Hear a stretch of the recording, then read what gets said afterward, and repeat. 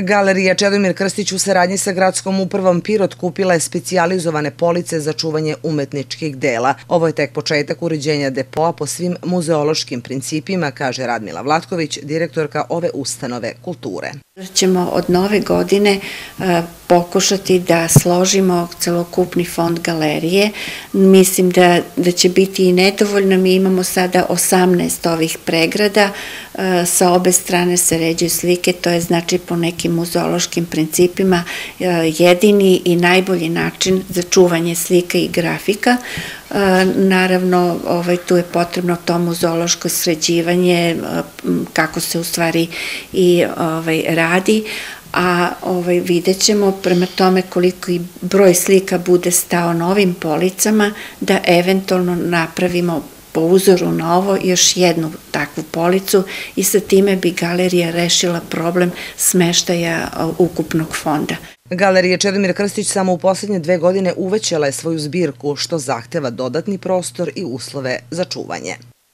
Povećali smo fond upravo sa slikama iz fonda 1. maja, stigle su nam grafike i slike, mozaici i skulpture će biti raspoređeni po gradu, a mi ćemo znači pokušati da novim policama zaista napravimo ovaj, onako kako treba da bude. Sa legatima imamo negde oko 350 umetničkih dela, Zbirka se sa prvomajskom povećava, tako da ćemo negde možda sredinom naredne godine imati negde oko 500 likovnih jedinica i to zaista treba na pravi način i konzervirati, sposobiti za neko izlaganje.